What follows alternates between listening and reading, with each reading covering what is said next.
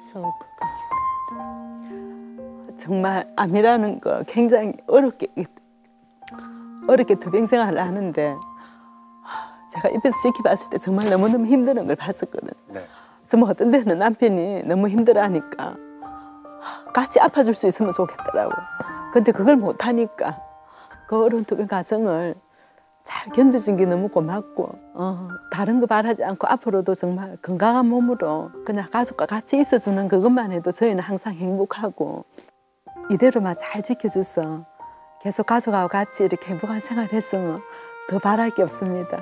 정말 당신이 살아줘서 고맙고 같이 옆에 있어줘서 너무 행복하고 너무 고맙습니다. 아, 네. 자, 이영선 씨도.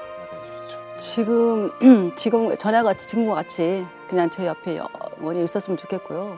그리고 이제 또 이제 가장 크게 바라는 건 제 옆에 꼭 있어 줘야지 될 저기가 꼭 있어요. 왜냐면 저 혼자 산에서 못 살아요. 산에서 혼자 무서워서 못 살아요. 우리 집 마당 사기 때문에 꼭 옆에 있어줘야 돼요. 예. 네.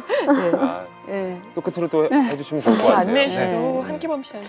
그러니까 여보, 내가 너무 이렇게 척척척척만 살 수는 없잖아. 근데 지금처럼 그냥 내버려둬도 자기 관리 자기가 잘해줘서 너무 고맙고 요새 생각이 내가 약간 달라져서 다시 태어나면 결혼할래? 근데 나는 당신 만나는 게 정말 삼재처럼 아주 정말 그지 같았다 그랬는데 지금은 너무 바뀌었어. 어떻게 바뀌었냐면 그래도 좀 다시 살아볼까? 아 이런 아 그런 그 약간 흔들림이 생겼거든. 똑같이 지금처럼 그렇게 재미있게 살자. 아.